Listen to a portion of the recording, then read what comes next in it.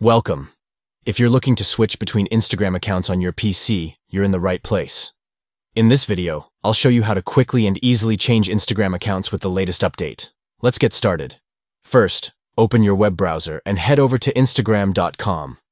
You'll land on your homepage, where you'll see your feed and your profile picture at the top right corner.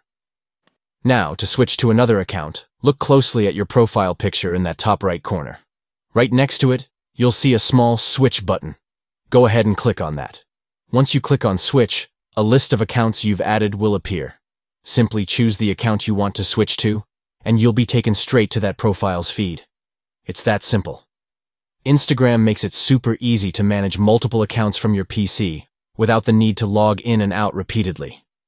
If you don't see the account you want to switch to, you can add another one by clicking Log into another account and following the prompts to log in with your new credentials. And that's it. Switching between Instagram accounts on PC is quick and hassle-free, thanks to this new update. If this video helped you, don't forget to hit the like button and subscribe for more tutorials like this. Thanks for watching, and I'll see you in the next video.